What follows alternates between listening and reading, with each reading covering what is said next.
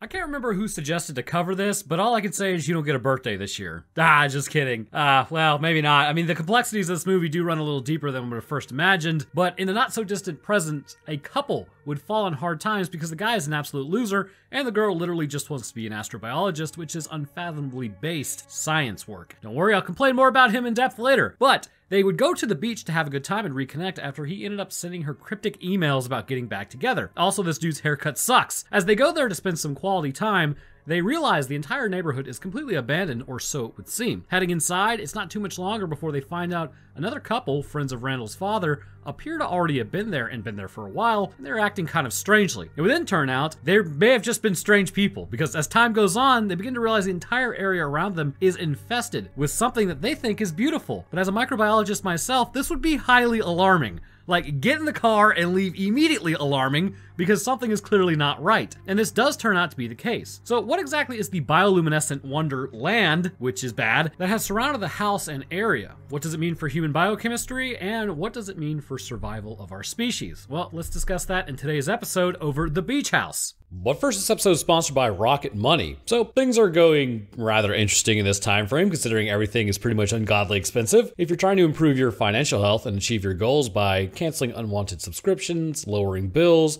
and setting up budgets as well as monitoring credit and providing a holistic view of your finances, then I've got good news for you. This one stop shop platform can help you achieve those goals by getting your finances under control. I bet you're a lot like me. It was Christmas in 2018, and you wanted to watch Polar Express for the hundredth time, so you signed up for Apple TV only to forget it for six years. At $4.99 a month, that comes out to $359.28, all because I forgot about a subscription that I didn't notice coming out of my account over time. That money lost is something I could have invested, or in general, I could could have grown my net worth with it rather than just having it quietly exit my account. By using the feature of canceling unwanted subscriptions, it means in the future, I won't be doing that again. Not to mention with its ability to set up budgets and automatically track your spending category, you can stay within the parameters that you set for yourself, utilizing this tool to seek financial freedom. So if that sounds good for you, you can download Rocket Money and unlock more features with premium. Go to rocketmoney.com forward slash Roanoke Gaming or click the link in the video description. All right, let's get back to it. So before kicking it off, after a week break on Roanoke Tales, I have returned. Last week we talked about the vanishing of the USS Cyclops in the Bermuda Triangle, as well as my great aunt and uncle uh, going missing in the Bermuda Triangle. So some Roanoke lore. If you want to watch that, I'm looking for some feedback on that episode, so go check it out. I'll link it after this. But we kick off our story to me thinking my speakers were broken on my TV, because no matter how loud I turned it up, I was not getting any noise. We then descend into the ocean. I think we can all appreciate how dangerous that is given the immense pressures a craft is under while going that that deep. But as we approach a hydrothermal vent, it is just sitting there, hydrothermaling menacingly. So with that setup done, we now head to the beach. I have no idea where this would be located. Looks like maybe the northeast, maybe? Ha! I was right, it was filmed in Massachusetts. As a couple then approaches in a car, you should probably have traded it in by now. But don't get it twisted though. A, Toyota supremacy. Two, these cars will never die. And D, they're pretty fuel efficient, getting 31 miles per gallon on the highway with a four banger 2.2 liter engine. But you probably should have traded it time wise because for any other reason, I mean, the car is pretty much a ride or die. And also the absolute irony of writing this yesterday because my wife ended up getting her car rear ended by a literal Toyota Camry, same year, same color as this movie and the thing still drove off with like a caved in front hood and destroyed grill. You really cannot kill these things. I'm getting really sidetracked. So as they pull up, listening to some god-awful music and sitting in silence. Oh man, I've been there. After a car trip with an ex before, everyone should experience that at least once in their life. So it's not looking like Spring Break 2020 is gonna be that great. Then again, I don't think that was really a great spring break for a lot of people, except for that one chick they interviewed on TV during spring break who sounded like her throat was destroyed. But hopefully, well, not hopefully, but probably from COVID. Uh, that was just bad phrasing. So as they head inside, they share a kiss as Emily says that she missed Randall. Walking in, Randall's like, uh, yeah, so what do you want to do? Because clearly he wants something. So I broke it away a lot, but Papa Roanoke advice time. Any woman that looks at you like that, or really any partner who has that type of body language, I'm gonna go ahead and tell you they aren't into it. Cool your jets for a few minutes. If you read that on them, y'all can attempt to reconnect later, but right now ain't the time, because this was a painful watch. So after what I can only imagine was a completely unenthusiastic jaunt, the guy then starts to fall asleep as Emily just sort of sits there. You'll see Randall sleeping moves the plot forward. It's a cinematic device to keep the ball rolling, so to speak. I'm like 80% sure this guy has chronic fatigue syndrome or something. So Emily at this point gets up as Randall says the most Amy thing possible, which I'm happy to add in a new name for the counterpart to the world's worst person, Male Edition. Congratulations, Randall! Your Amy awaits! Again, Emily just got her organic chemistry degree, right? So you want to know how bad organic chemistry kicked me in the crotch? You have to be highly intelligent or at least have like a natural knack for it.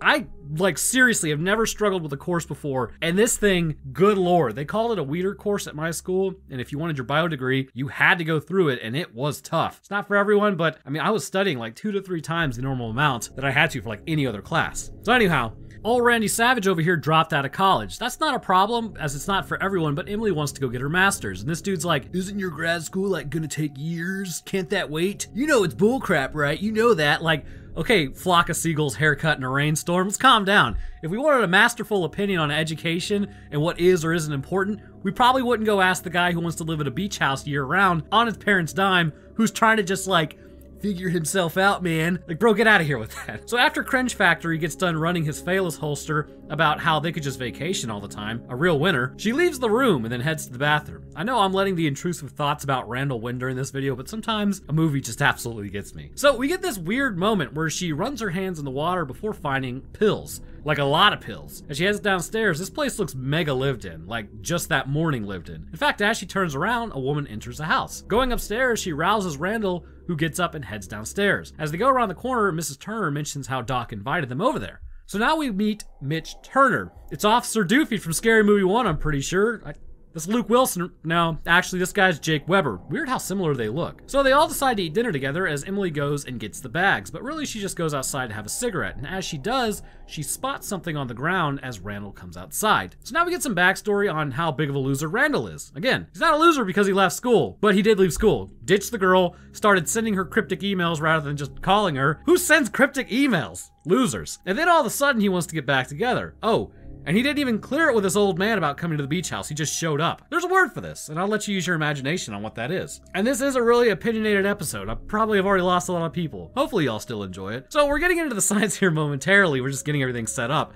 and letting me complain. So, later that night, as they all sit down to have dinner, Randall eats one of the oysters as Emily talks about her major and how she wants to do astrobiology. Now, this is the point that's actually rather important. Remember that thing outside that Emily was looking at when she was having a cigarette? That's foreshadowing. Anyhow, back to the astrobiology. It has more to do with life on this planet, basically how life can live in extreme environments. We call them extremophiles, and specifically what she would be studying and how all the right conditions had to come together to be the catalyst for life on this planet. They ask what Randall is studying in college, and he kind of talks about how he's just going to backpack through Europe. I'm, I'm, making that up. He basically said he was just going to hang out and find himself. I, I don't know. I stopped listening to this guy and really sort of the rest of the table. So as he wants to figure himself out, but he wants to do so by not getting a job or supporting himself, that would be crazy. No, he wants to find himself by just sort of hanging out. Look, man, I get it. If you want to like figure out what you want to do in your life and you want to like figure out your direction, what you're actually interested, I totally 100% think you should do that, whether that be school, the trades, whatever you want to do. But you need to get a job during that time frame. So anyways, what are extremophiles exactly? Earth's history has actually not been too kind to life, believe it or not. Currently, we're existing in a period of time that is, despite sociological strife, uh, physically the planet is pretty calm. This has allowed life to flourish and spread across the entire globe. Extremophiles may have been the earliest form of life that we know of, given the environment that they live in.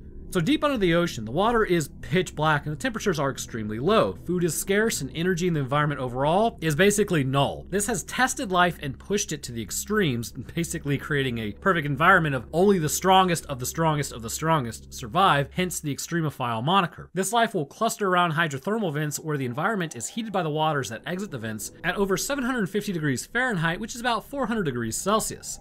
This is well past boiling, and if anything accidentally goes directly into the vent, it's going to be cooked. Now, one of the things that is highly interesting about this type of hydrothermal vent is that we believe Europa and Callisto, which are moons that orbit Jupiter, may actually have these hydrothermal vents, and the surface of the planet is essentially just frozen ice, which means there could be liquid water underneath that ice, and potentially with that, if hydrothermal vents actually do kind of kickstart life, it's possible there could be life out there. But when it comes to these vents, what they put out is very important. Hydrogen sulfide, hydrogen gases, ammonia, chemicals that appear at some point possibly to have undergone chemical reactions that may have formed some of the first molecules. Now, something to understand before moving on is life is hypothesized to have potentially started at the vents.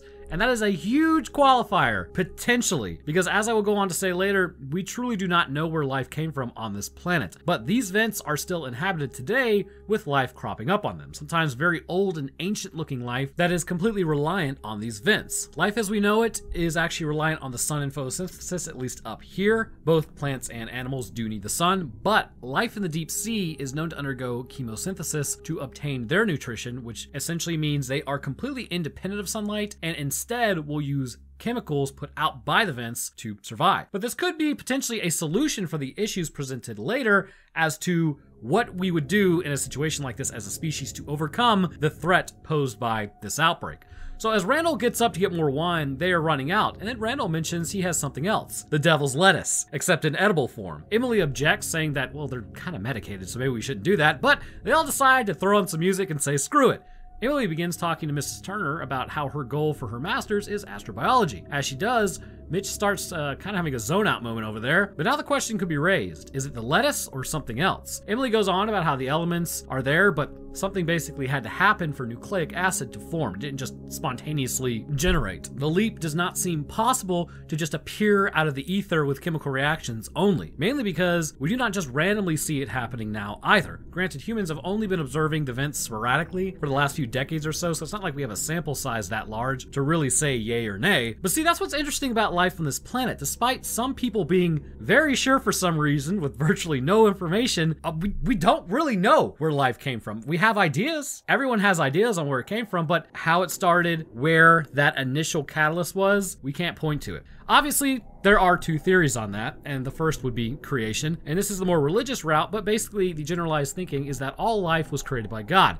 God was the catalyst that provided our planet with the leap from chemical reactions conducting themselves for perhaps billions of years to where we are now.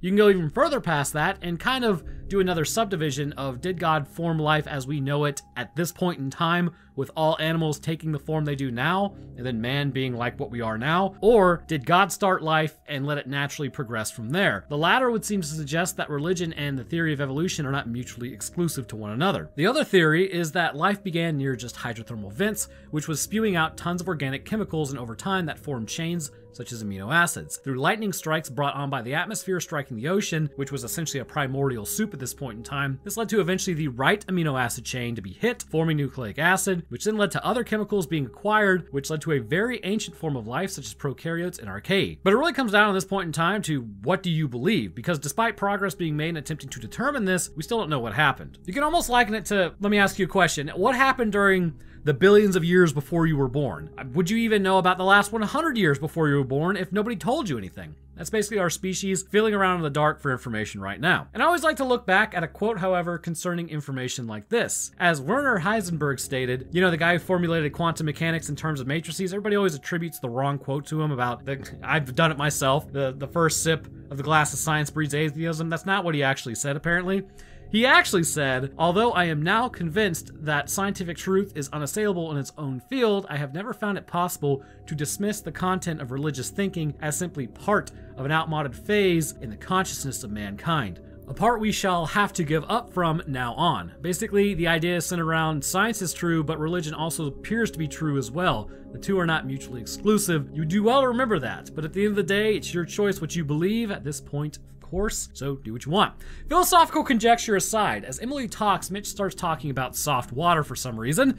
Emily sits there for a minute, continuing, as Randall then lies down. See, he only sleeps. All of them begin sort of like phasing out of consciousness at this point, and Emily then suddenly wakes up and nobody is in the room. That's a little odd. Apparently, they all went outside without her, and as they look around, they see something that is highly disturbing. You see, this blue coloring on all the plants and trees and the ground and the literal wind, that's really bad. Let me put it this way it's not a normal event, which means bacteria or algae that is usually in the ocean has now become airborne, which means if that same bacteria or algal bloom that we normally see in the oceans is now getting into your lungs, then best case scenario, you just get sick. Because spontaneously developing this ability seems unlikely, which points that this is another organism entirely and something completely new, which means we have no idea how it would interact with our meat suits. Now, the thing to understand about the bacteria and algae in the ocean, and of this particular strain, which I'm leaning more towards algae, I believe, is that it's not all dancing in the bioluminescence singing about the joys of how beautiful it is.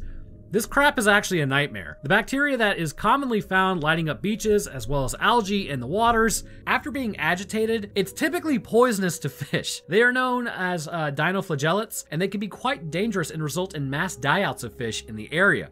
Now, with humans, we have this wonderful thing called skin, which provides uh, pretty much an air and watertight barrier from the outside world. And because we breathe air rather than have water run through our gills, typically we don't have to worry about algae getting into our lungs. But therein lies the issue. This is clearly airborne now, which brings up a whole host of issues that require immediate respirator adherence like right now. This toxin the algae releases can actually disrupt gill function, which facilitates the exchange of oxygen. By entering human lungs, it may be doing something very similar, and this would result in the coughing that we see later on. Drifting through the air is a completely new function, and it could easily either enter the nose or mouth, go down the trachea and into the bronchial tubes, and this is where toxins would begin agitating the tissue, but there are neuropathic events which we will be seeing momentarily. Randall and Mrs. Turner then head inside as Mrs. Turner randomly goes out on the front porch. Mitch talks to Emily about about how the world is seen so different because of all the information we have. Honestly, it seems like with all the information we do have, a lot of people just seem to twist it. This is a very interesting time for our species. So as Mrs. Turner walks around outside because she's feeling it, Mr. Krabs, she goes and then touches some blue material. And as she does, well, it appears that there may be like a self defense mechanism because a fog builds up and starts choking her. Now, it should be known at this point that this is her infection point. And I think we should go ahead and lay out essentially each individualistic infection vector as it will shed light on why the infection spreads the way it does later. So, spoiler alert Randall was infected when he ate a contaminated oyster, which actually isn't too far from the truth normally. You don't actually need some mystery illness. The regular illness will ruin your week, and if you're immunocompromised, it'll ruin your life. Mrs. Turner becomes infected after she makes direct contact with the bioluminescence on the tree, and this would enter her skin and begin her infection process, which we will get more into here in a little bit. And the other two remain uninfected for now, but that is about to change. At this point, Mitch starts asking Randall where Jane went, and like a completely useful and helpful member of society, he says, I don't know, she went out the front door, but then continues to lay there. Like, don't help, bro. You know, that would be really bad for your character arc. So as Emily stands there, she starts feeling it too. Uh, she goes out into the fog, but decides, I'm gonna just shut the door and go back inside. She remarks, however, that she smells something like rotten eggs, which again, one of the things to remember is deep sea hydrothermal vents actually do put out something known as hydrogen sulfide, which has been said to smell like rotten eggs, as well as sulfur in general smelling like rotten eggs. And this would imply that the species currently on the surface hails from deep within the ocean. Randall continues to lay there like a slug, and eventually Emily starts straight up tripping as well, as she tells Randall she doesn't feel too good, and he lays there again, not doing anything, and eventually she just sort of passes out and then wakes up in a dark house. So what kind of information can we glean from this? Again, whatever she was exposed to is going to be airborne as made mention by what we can see and the smell. When she first smelled the rotten eggs, this was her being exposed to the species in the surrounding area by basically the scent that it makes. This effect that it would have on her neurological capacity appears to be one of a depressant of some sort. As light begins to flash, she mentions how she sees sunspots and begins hallucinating lights all around her. Now, the thing about hallucinations is it's actually caused by neurological function decreasing in activity instead of increasing. So, what's happening? Well, upon entering her lungs, this mystery toxin produced would quickly diffuse into the circulatory system, but this still takes time to have an impact on the brain. But what is it specifically? Well, this is the interesting part. There is a type of toxin produced by algal blooms that typically we see contamination within the shellfish population. Known as domoic acid, this is a marine biotoxin that induces something known as amnesic shellfish poisoning. Typically, how humans come into contact with this poisoning is shellfish will filter the algae through, the toxins will build up and then we'll eat it. Typically, we do not come into contact with this toxin because we are not filtering vast quantities of seawater through our bodies during an algal bloom, or I really suppose at all. When this poisoning happens to humans, it disrupts neurological function in Homo sapiens to the point that it can erase memory. The symptoms are of interest to what we will see later because they can be headaches, dizziness, confusion, disorientation, motor weakness, seizures, profuse respiratory secretions, cardiac arrhythmias, coma, and potentially even your death. So remember who ate the oyster? Randall is on borrowed time. Emily, however, was subjected to poisoning via toxins in the air, and as a result, she does not appear to be infected at this point. Mitch, however, was outside and was likely exposed directly to the organism, which resulted in his infection. So we can assume that likely the same thing happened to him as he passed out outside and then became infected. The toxin entering the brain clearly would have had a neuropathic effect on Emily, as she mentions, again, seeing sunspots and the coloring of lights. She tells Randall that she doesn't feel good, which, as the dizziness then sets in, this confirms there is a toxin in her body leading her towards unconsciousness. Once the brain functions were disrupted, she would enter a state of unconsciousness, as likely the brain would be trying to protect itself, or it was just so disrupted that it could not maintain, and then the body would begin filtering toxins out of itself via the kidneys, which would be interesting to see the effects of these toxins on the waste removal system of the body. Emily wakes up, and everyone at this point has left the room because it's 2:07 a.m. except for Randall. And as she calls out, yeah, he was laying there all night and won't get up. She hears Mrs. Turner coughing as Mitch then closes the door, sealing them out. So they decide to go to bed, but as Emily looks out, she sees that there still are spores in the air, and this can mean several things. Either the spores are still in the house, or this is another species entirely, which is less detrimental to human functioning. If it was the same species that was outside of the house, this would mean it would be highly unlikely that she would have woken up at all. Then she appears to immediately pass out again, thinking about the ocean before waking back up, and it's no longer even morning, it's afternoon. And everyone else isn't really doing so hot. She attempts to wake Randall up, who's still trying to sleep, Granted, he is infected at this point, but the incubation period hasn't completely progressed to where he would be symptomatic. Emily then heads downstairs to find Mrs. Turner sitting there menacingly with her pills as she will not answer her. She then asks where Mitch is, but Mrs. Turner doesn't answer. Instead, she gets up and begins shakily going up the stairs. We then see more heroics from Randall as she's clearly having difficulty, you know, walking up the stairs, and rather than help, he just sort of like slides past her. Bruh. So they go outside and call for Mitch, but there's no answers. The water is looking pretty though, so at least, you know, that's a plus. They give up the search after a few minutes and decide to stay out of the beach for a while. Getting some sun, Randall gets up a while later to go poop himself to death because he ate bad oysters. That's never fun. It is at this point that he has become symptomatic for his infection. It appears point of entry concerning infection is highly important to how it affects your body, which we will break down here in a moment, but as he wraps that up, it is seen that he left his keys with his shoes. While Emily is out there, Mitch just randomly arrives to talk to her. He asks where everyone is, but this sort of creeps Emily out as nobody's out there, and he's just like really kind of weird. Like he was weird me out too. But uh, basically, Randall is doing the same thing with the water and spots has something in it, so he's definitely not doing good. But heading outside of the bathroom, he hears a banging noise upstairs and goes up there to finally do something with his life. Back out of the beach, Mitch goes on. Basically, it appears he's kind of losing touch with reality somewhat and decides, hey, I'm gonna go for a swim. Except it's not really swimming so much as just walking out there and dunking his head under the water. Alright, well, off into the sunset, I suppose. But the question is, what is the infection doing and why is it so different depending on who is infected and how it happened? Well, that's a good question, bro. Let's discuss. So, Mitch was not infected tactily like his wife, but instead was infected via the airborne spores outside. These spores appear at this point to have thwarted any attempt by the macrophages patrolling his lungs to clear the infection, as whatever species those spores were have likely entered the body at this point and are really just riding in the circulatory highway and have entered his brain. This would likely mean that this spore is parasitic in nature, given how it influences behavior, which, for an example, we turn towards everyone's favorite parasite, Toxoplasmosis gondii. Toxoplasmosis gondii, or just Toxoplasmosis for short, which really doesn't save that much time, is a species that typically is endemic to birds and felines by using rodents as a midstep.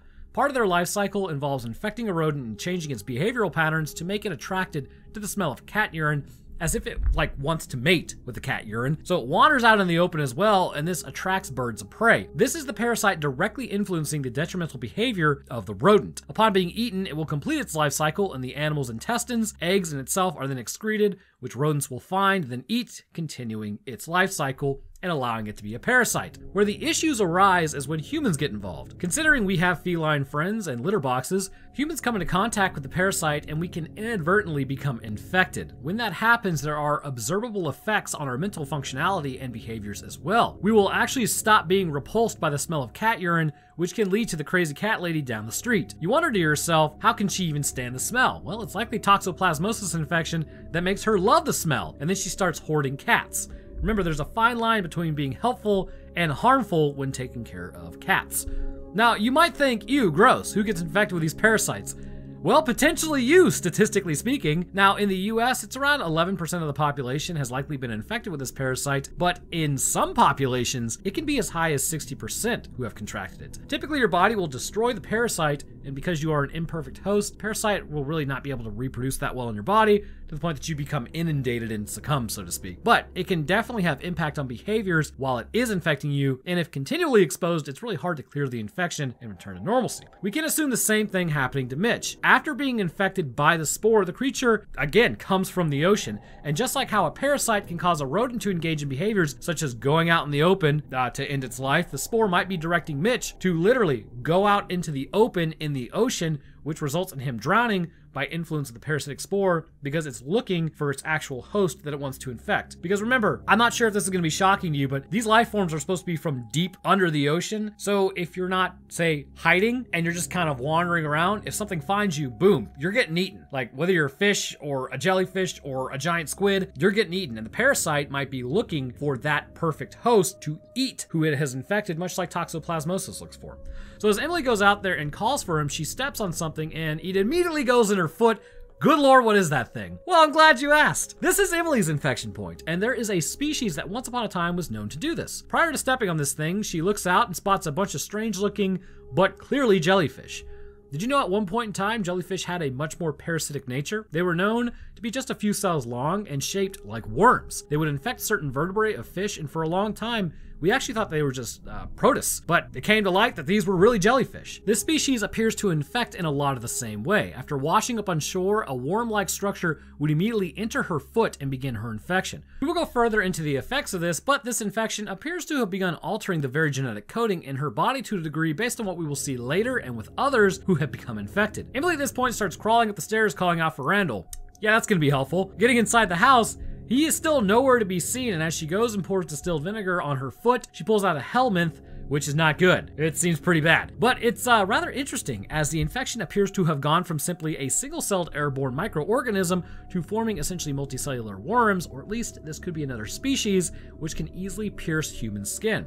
But what exactly is happening here? We covered that clearly this is a worm, so it appears like a much more prehistoric form of jellyfish back in its parasitic era. No healing era here, but this is still a present issue for Emily. While she removed the bulk of it, remember that these worms could be just as large as a few cells. Removing those would prove much more difficult, and what's worse is, again, it appears to affect the genetic coding, which we'll get there. Heading upstairs, she wraps her foot and then she spots Randall lying down again, crawling away. As she goes to help him, she spots Mrs. Turner with the whites of her eyes only showing. This would imply that the infection is in her eyes to a degree, as her skin is also showing signs of an immune response and infection. Touching the forbidden blue Nickelodeon slime on the trees has led to her integument system to be inundated with this organism, and by association, her eyes were an easy target, which then has probably rendered her largely blind. From here, it would be easy to follow the optic nerve to the brain, altering behavioral patterns by influencing the midbrain and limbic system, making her more aggressive, and relying purely on instinct driven by the organism. So they go outside as they trap Mrs. Turner inside, and okay, hilariously, Randall can't stand, but now all of a sudden he can walk, but he chose to crawl. How dramatic. So they go to the next house as the neighbor doesn't appear to be there. Randall says he must have been knocked out or something as he tried to help Mrs. Turner, but he can't remember. No, Randall, I just don't think you remember helping her because you didn't try. You probably got hit by the door or something. Then the fog starts moving in as the neighbor comes crawling around the corner to check on them. Running into the fog, they find a flashing light from a truck and start heading there. Leaving Randall at the mailbox, Emily gets in the truck coughing and then calls for help. Again, I can only assume there's some sort of airborne toxin in this fog itself and not just the organism. She gets a response, but it's pretty broken up. Essentially, it says the fog isn't dangerous, but something else is. The voice continues and says the exposed are extremely dangerous. They just seem to crawl through those, so I really think a brisk walk would save you. Emily then leaves the truck as Randall fell down off the mailbox, saying maybe the beach wasn't such a good idea. Well, bro, I think your whole plan of staying at the beach house in general was a dumb idea, but that's just me. So Emily at this point starts zoning out a bit due to the buildup of toxins that she's currently experiencing before breaking into the house. Her and Randall then head inside to get out of the fog before heading further inside to get out of the fog entirely. Going further into the house, she puts down Randall so that he can sleep again, as then she finds trash strewn all over the house and begins looking for keys. Randall has a moment where he realizes the jig is up, the news is out, he's contracted the mystery oyster illness, as Emily then gives him a pep talk about not meeting his maker. Emily then turns on the TV to find emergency broadcasts, as well as just the same thing on the radio. So she says that they need to lock themselves in and seal the windows and just wait it out. Randall at this point is circling the drain as Emily tells him not to be scared. She decides to check the basement to see if there's anything down there that they can use to get out of there.